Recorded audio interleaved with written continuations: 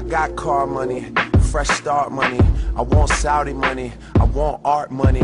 I want women to cry and pour out their heart for me. And tell me how much they hate it when they apart from me.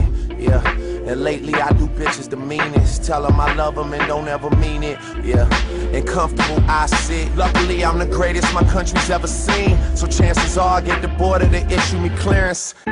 Dreams money could buy. Everybody else surprised, I wasn't surprised.